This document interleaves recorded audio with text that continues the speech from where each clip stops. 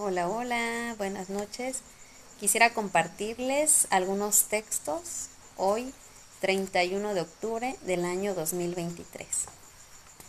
El primer texto que les comparto se titula Al vuelo.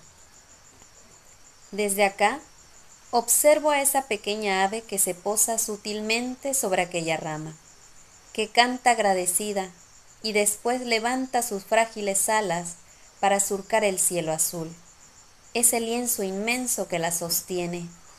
No busca un lugar porque todos los lugares son suyos.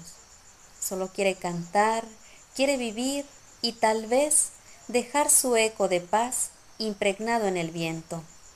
Desde acá la veo alejarse y comprendo entonces que ha cumplido su misión.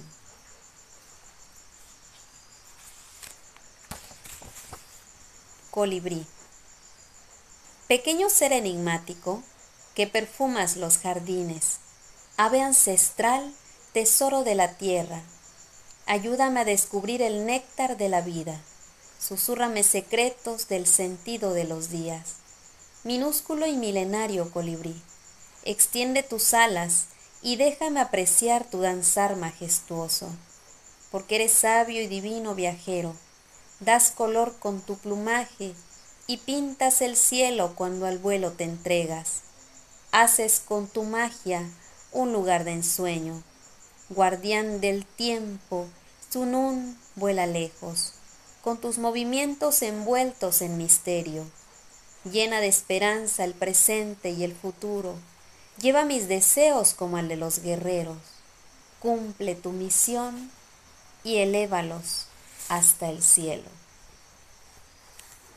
el vuelo del ave.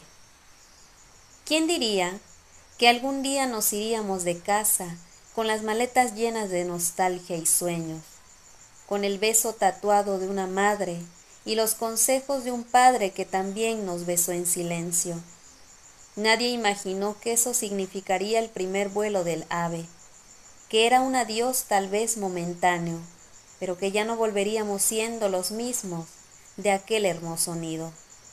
Allá en aquel rincón dejamos nuestros juguetes hechos de lata y de madera, los libros desgastados que nos leían nuestros padres.